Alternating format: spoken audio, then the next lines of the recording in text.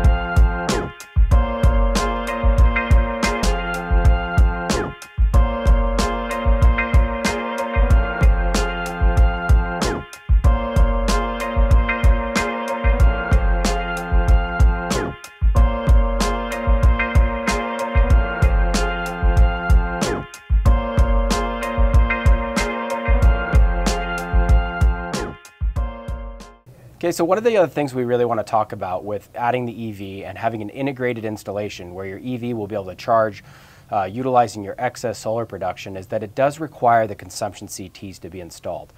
So that's going to require either a Envoy S metered or IQ gateway to be utilized.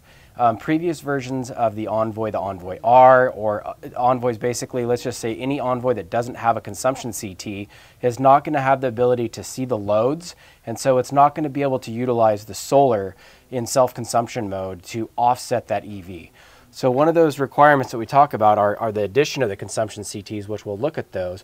But those can be in, in kind of two different varying places, right? Those could be, uh, depending on your configuration, they could be at your main panel, they might be at a sub panel.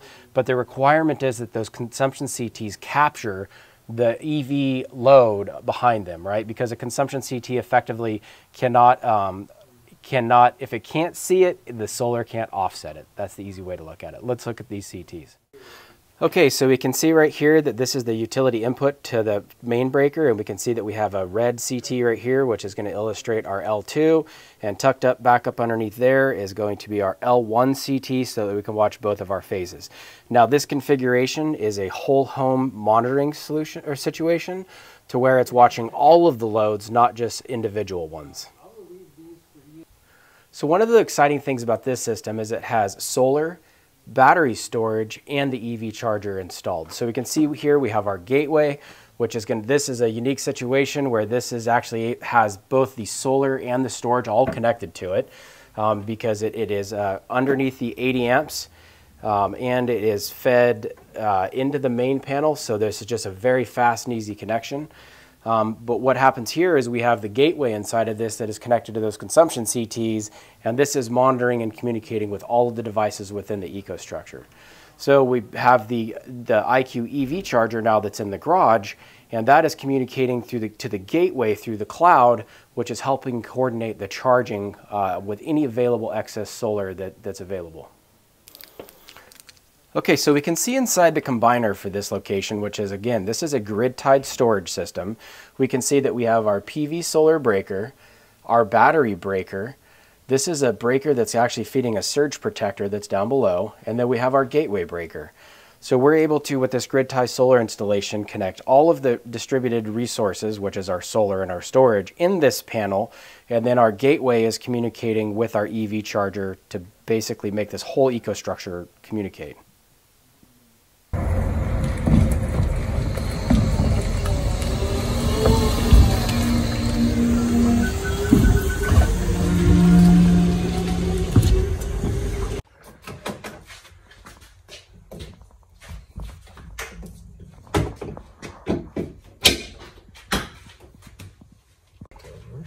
Charging.